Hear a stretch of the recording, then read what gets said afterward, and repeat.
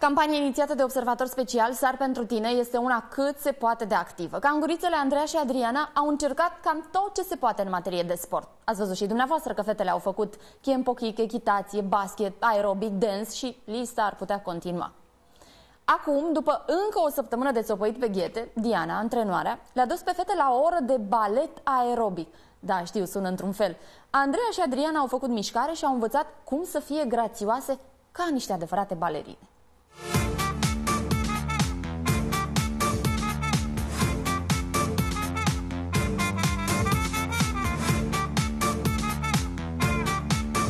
7 zile din 7, dacă se poate, dacă nu, de cel puțin 4 ori pe săptămână. Acesta este programul de antrenamente al celor două cangurițe. Andreea și Adriana muncesc din greu la sală alături de Diana, așa că antrenoarea lor le-a pregătit un weekend special. Fetele au cunoscut-o pe Mihaela Murgu, fostă balerina alături de care au ars calorii într-o oră de ballet workout, o combinație de aerobic, fitness și balet clasic. Sunt exerciții la bară care ajută la modelarea și tonifierea corpului, sporește flexibilitatea și rezistența la efort. Într-o ședință de ballet workout se ajung cam până la 600 de calorii. Mișcările trebuie executate controlat, unele mai lent, altele mai rapid.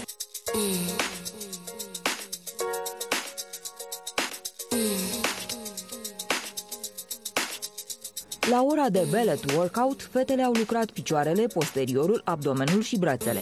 60 de minute a durat clasa de grație și mișcare pentru cangurițe. S-au descurcat foarte bine. Uh, cred că peste două zile vor simți o ușoară febră musculară. Azi am fost invitată împreună cu Adriana și Andreea la sala prietenei mele, Mihaela Murgu. Am făcut ballet workout.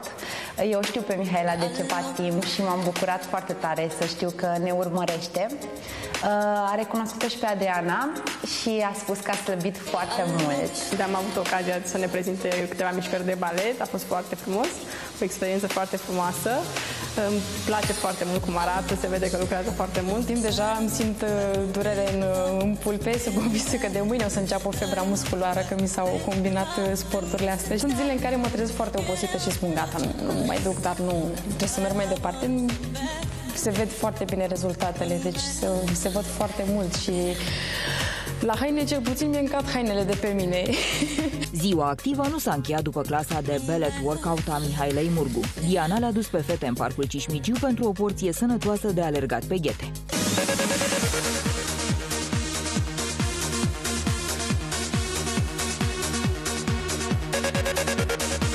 Astăzi am alergat aproape două ore Fetele se descurcă pe excelent, atât afară cât și indoor. Uh, le pregătesc câteva surprize minunate în următoarea lună.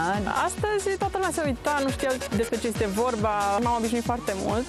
Îmi place ceea ce se întâmplă cu acest sport. Nu știam de el dacă nu era vorba de acest proiect. Ne bucurăm când ieșim afară la, la aer, că e, e altceva când ieși, ieșim cu toți afară. Eu oricum ies cam săptămânal afară în parc și alergăm. E altceva când suntem toate trei. Se ocupă Diana de noi, ne coordonează.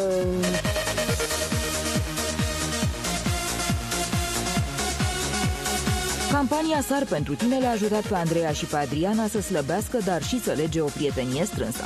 Noi ne înțelegem de minune, deci sunt zile în care nu prea o sun, că virgulă, nu am timp și mă sună, geamăna mea, n-ai mai dat niciun semn de viață, mai trăiești, aole, zic, trăiești, stai liniște, zic, dar chiar nu există zi în care să nu, să nu vorbim. Cu Andreea mă înțeleg foarte bine, mă bucur foarte mult că am cunoscut-o prin acest proiect.